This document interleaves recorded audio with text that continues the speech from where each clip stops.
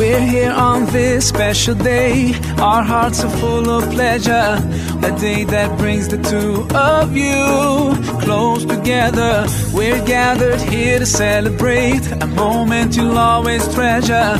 We ask Allah to make your love last forever. Let's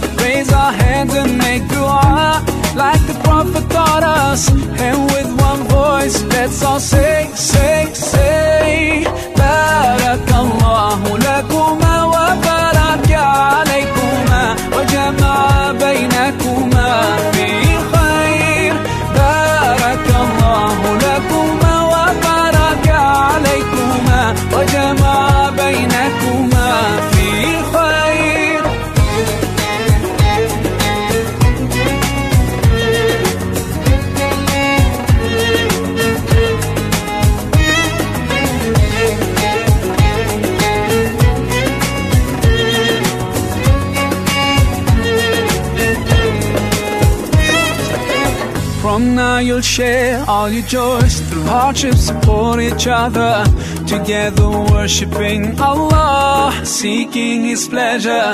We pray that He will fill your life With happiness and blessings And grant you kids who make your home Filled with laughter. Let's raise our hands and make dua Like the Prophet taught us And with one voice Let's all say, say, say